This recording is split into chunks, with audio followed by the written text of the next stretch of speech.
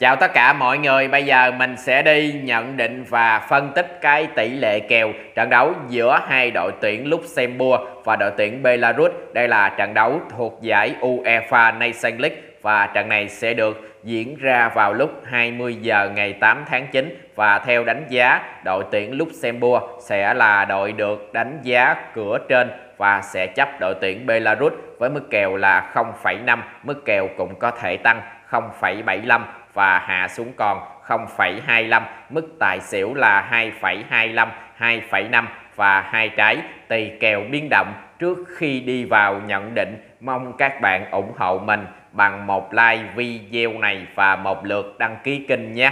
Và mình cũng xin thông báo thêm với các bạn là hiện tại thì mình cũng có tạo một kênh youtube mới tên là Di sôi Kèo. Thì bạn nào quan tâm đến những nhận định của mình để tham khảo các kèo bóng, thì mong các bạn ủng hộ kênh mới của mình bằng một lượt đăng ký nhé. Mình có để sẵn đường link kênh mới ở bên dưới phần bình luận của video này. Các bạn cứ việc xuống dưới phần bình luận, sau đó các bạn sẽ thấy một cái đường link màu xanh và ấn vào đường link đó, ấn thêm chữ đăng ký là xong nhé.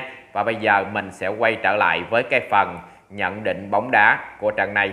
5 lần gặp nhau gần nhất của đội tuyển Luxembourg và đội tuyển Belarus. Luxembourg thắng 1 hòa 1 và thua 3 trước đội tuyển Belarus 5 trận thi đấu gần nhất của đội tuyển Luxembourg thì Luxembourg thắng 2 và thua 3 còn 5 trận thi đấu gần nhất của đội tuyển Belarus thì Belarus thắng 1 hòa 1 và thua 3 và ở lần đối đầu này với mức kèo như thế này thì theo nhận định của mình lần này mình sẽ đặt niềm tin vào đội tuyển Belarus được chấp 0,5 nhé.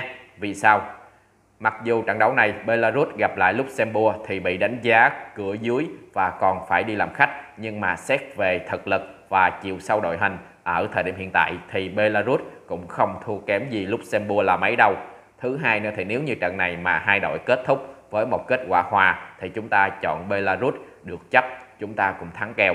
Và thứ ba nữa thì à, trong bóng đá nó cũng chưa nói trước được nhiều điều khi mà 90 phút chưa kết thúc. Không phải lúc nào cửa dưới thì phải nhận thất bại đâu. Xét về phong độ và thành tích đối đầu của hai đội ở những lượt trận gần đây thì à, mặc dù là phong độ cũng đang cân bằng nhưng mà đặc biệt là cái thành tích đối đầu của Belarus trước Luxembourg thì Belarus vẫn đang vượt trội hơn. Ở lượt trận này thì Belarus họ sẽ có được lực lượng mạnh nhất để đến làm khách trên sân của Luxembourg. Thì biết đâu một lần nữa Belarus họ sẽ làm nên chuyện với một chiến thắng trước chủ nhà Luxembourg thì sao? Cho nên bạn nào tin tưởng mình ưu tiên chọn Belarus. Được chấp mình nghĩ cũng sẽ rất là sáng cho các bạn. Mức tài xỉu là 2,25 2,5 và hai trái. Những lần gặp nhau trước đây của hai đội thì đa phần cũng có từ 3 hoặc 4 bàn trở lên. Cái hiệu suất ghi bàn của Luxembourg lẫn Belarus thời gian gần đây nó cũng đang cực kỳ ổn định. Dự đoán cuộc đối đầu này sẽ là cuộc đối đầu hấp dẫn và sẽ tiếp tục có nhiều bàn thắng được ghi. Có thể là hai đội sẽ cầm chân nhau với tỷ số là hai đều hoặc 2-1 hay là 3-1 nghiêng về cho Belarus. Bạn nào tin tưởng mình nữa thì ưu tiên chọn kèo tài nha ở mức hiệp 1 thì mức kèo chấp là 0,25 và tài xỉu là một trái dự đoán hiệp một với mọi thứ nó cũng không thua kém về đội chủ nhà. Và hàng thủ đang chơi tốt thì có thể là Belarus, họ cũng sẽ không để thua trước Luxembourg đâu. Thậm chí là Belarus mới là đội sẽ dẫn bàn trước. Hiệp một các bạn chọn Belarus nha. Và canh tài còn dưới một thiệu vào. Tóm lại trận này chốt kèo là chọn đội tuyển Belarus và tài. Ở hiệp một cũng vậy. Chúc các bạn may mắn.